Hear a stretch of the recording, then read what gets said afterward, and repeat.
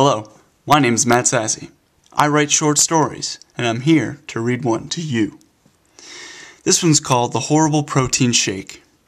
Please let me know if you enjoy it. Tonight, I wanted to spend some time at the gym and work out on my Rambo type body. My workout was strenuous. My heart pounded and sweat dripped slowly down my face and down my legs. I felt like a champion. Before I left the gym, I had to grab six grape Tootsie Rolls to eat to give me more strength. As I approached my vehicle, I noticed two girls sitting in a white car that was in the parking spot over from me. I stopped walking to look at them and opened my mouth to say, What up, hoes? They looked at me like they were ready to have sex with me, but I will spare you these details. As I was driving to my house, I decided to listen and sing along to some music to gain more power. When I approached my home, I knew to turn the music down so I wouldn't wake up my Nana. As I stepped into the cold, dark house, I had one thing on my mind make a protein shake.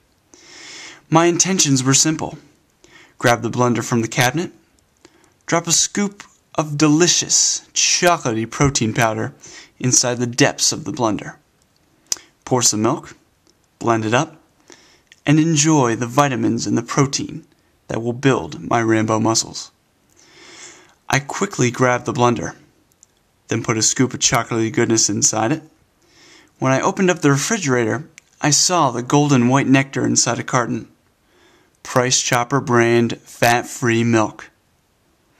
I screamed with joy like a schoolgirl getting. Uh, let's not get too indulged with expletives and crude humor. When I grabbed it, my heart sunk, my eyes watered and my lungs collapsed.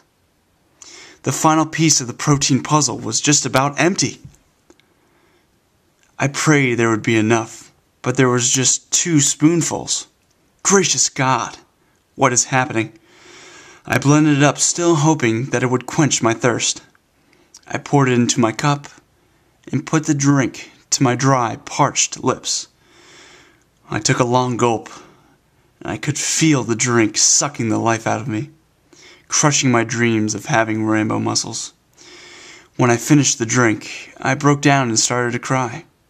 My hopes and dreams were crushed. Please let me know if you enjoyed this.